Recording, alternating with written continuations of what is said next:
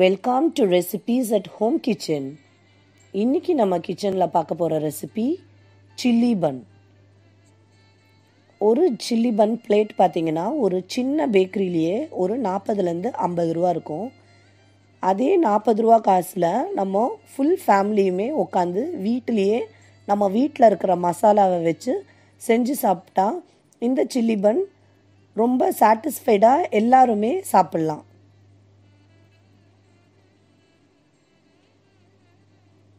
இந்த சில்லி பண்ணை நம்ம வீட்லேயே எப்படி செய்யலான்னு பார்க்கலாம் வாங்க. இதுக்கு தேவையான இன்க்ரீடியன்ஸ் நாலு பன் எடுத்திருக்கேன். நீங்கள் வந்து milk bun burger bun potato bun எந்த பன் வேணால் யூஸ் பண்ணிக்கலாம். நான் நாலு பர்கர் பன் எடுத்திருக்கேன். இப்போது ஒரு தோசைக்கல்லில் கொஞ்சமாக பட்டர் போட்டு நான் இந்த பன்னை ரெண்டாக கட் பண்ணி அப்படியே வச்சுக்கிறேன். பொடி பொடியாக கட் பண்ணோன்னா நம்ம திருப்பி திருப்பி போட நிறைய டைம் எடுக்கும். அதனால் நான் ரெண்டாக கட் பண்ணி ரெண்டு பக்கமும் நல்லா டோஸ்ட் பண்ணி எடுத்துக்கோங்க. கூடவே இப்போ ஒரு பேன் வச்சுக்கலாம். பேனில் ஒரு மூணு டேபிள் ஸ்பூன் ஆயில் சேர்த்துக்கோங்க. பொடியாக கட் பண்ணி வச்சுருக்கிற பூண்டு ஒரு ஒன்றரை டேபிள் ஸ்பூன் கூடவே ஒன்றரை டேபிள் ஸ்பூன் இஞ்சி பொடியாக கட் பண்ணி சேர்த்துக்கிறேன். இது ஒரு முப்பது வினாடி வதங்கினதுக்கு அப்புறமா ஒரு மூணு மீடியம் சைஸ் வெங்காயம் சேர்த்துக்கிறேன். இதை நல்லா எண்ணெய் பிரிஞ்சு வர அளவுக்கு நம்ம வதக்கிக்கலாம்.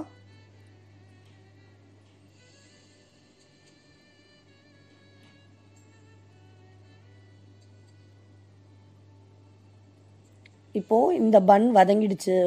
ஃப்ரை ஆகிடுச்சு ரெண்டு பக்கமும். இந்த பன் எடுத்து வச்சுட்டு இன்னும் ரெண்டு பன்னையும் நம்ம வந்து ஃப்ரை பண்ணிக்கலாம். கூடவே வெங்காயத்துக்கு கொஞ்சமாக உப்பு சேர்த்துக்கிறேன். வெங்காயம் சீக்கிரமாக வதங்கிடும்.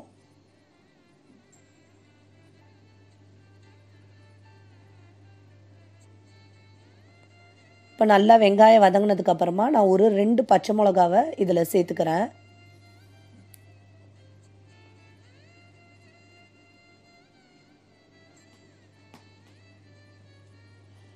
மூணு சின்ன சைஸ் தக்காளி.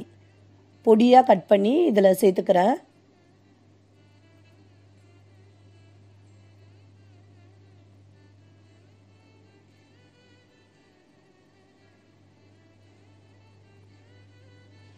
கால் டேபிள் ஸ்பூன் மஞ்சள் பொடி. முக்கால் டேபிள் ஸ்பூன் மிளகாய் பொடி.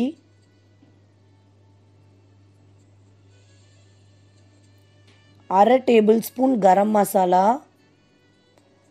அரை டேபிள் ஸ்பூன் சீரகத்தூள்.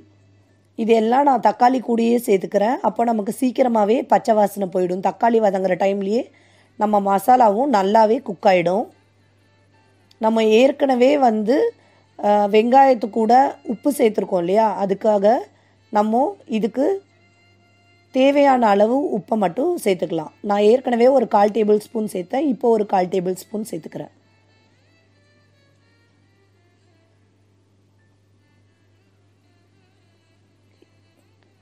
பண்ணை எல்லாத்தையும் இந்த மாதிரி பொடியாக கட் பண்ணி வச்சுருக்கேன்.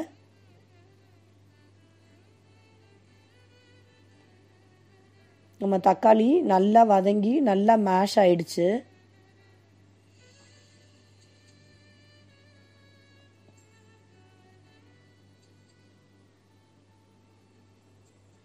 இப்போது இந்த பன்னையும் இது கூட சேர்த்து நல்லா அந்த மசாலா வந்து பன் ஃபுல்லாக படுற மாதிரி நம்ம கலக்கிக்கலாம்.